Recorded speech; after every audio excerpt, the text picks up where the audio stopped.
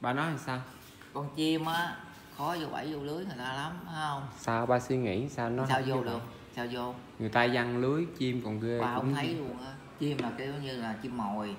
Những con chim rừng á vô bẫy vô lưới được tại vì người ta có con mồi. Ta dụ nó vô. Còn những con chim này theo bầy theo đàn nó khó vô lắm. Có chỉ nó có súng bắn nó thôi súng săn bắn nó thôi chứ làm nó nào vô được chứ lưới cũng đâu vô được treo con đó cho đó cho bắt nó bắt được con nào, bắt con nó ăn, nó đi về cho bắt nó tự nó ra bắt được không? Dở mà hoài, cho đủ ra có một cái hiện tượng mà em thấy tại nhà em, là nhà em đã phóng sanh năm con chim cho Bồ Tát Trang Nguyễn và năm con chim cho nghệ sĩ Phi Nhung thì thấy là 10 con. Phóng sanh xong rồi, đã trải qua nhiều ngày, hai, ba ngày rồi đó. Mà không thấy con nào nó về hết trơn á. Phóng sanh xong đi luôn. Giờ cái chuồng chim nó vắng que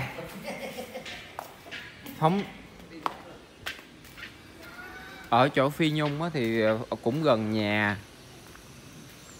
Phóng năm con còn ở chỗ ờ, phóng cho bồ tát trang á là vô trong rừng phóng luôn. Tụi về, tụi nó không có về được.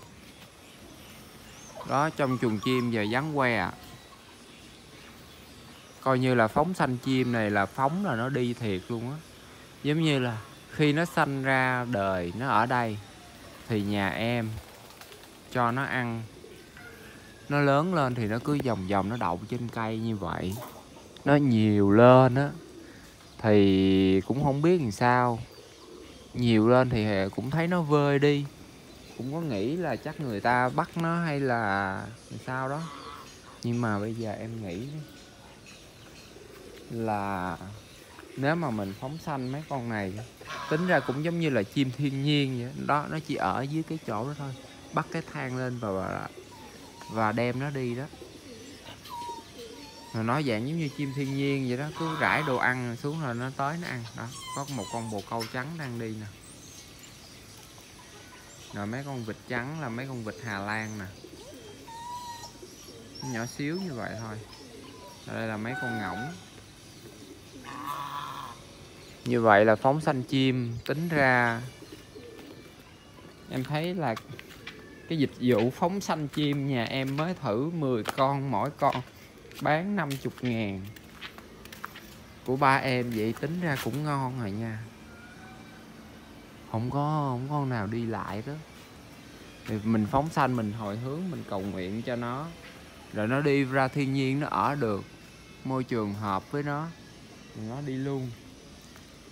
Chứ ở đây thì nó ờ, bị gò bó, nó chỉ biết mấy cái cây này là nhà của nó thôi. Ra ngoài kia thì chắc có lẽ nó thấy nhiều cây cối quá thật sự mấy con này khó bắt nó lắm. Đó. Nó cứ trên cây mút mù rồi vậy thôi. Chừng nào mình cho nó ăn thì nó xuống nó ăn. Vậy là 10 con chim đã đi vơi luôn. Có có bồ tát nào à, à, muốn à, phóng sanh cho vài chim của ba con hết thì bồ tát cứ đang quay với ba. Ờ, cứ thả cái phóng đi phóng cho hết bầy chim. Bầy chim của ba đâu được nhiêu con đâu. Nó không có về. Phóng được đi lạc trơn à. Sao đi lạc chim ngu dữ ta? Tưởng Ừ. chim này thông minh chứ hả ba? Mình nuôi nó ở nhà nó ở chung quanh ở nhà thôi chứ nó không đi đâu. Vậy hả? Đâu đi đâu nó lên cây rồi xuống đất lên cây xuống đất không lặn nó đi đâu? Vợ đi luôn rồi đó. Ừ, nó đâu có đi về đâu. mình đem đi xa đi luôn mà nó sợ ngợi là mình bắt nó quản sợ. Nó sợ hoành về đây Đúng mình rồi. bị bắt bị bắt đó đúng rồi bắt làm thịt hay gì đó rồi. Giờ không còn luôn. Trời đúng là chim rừng.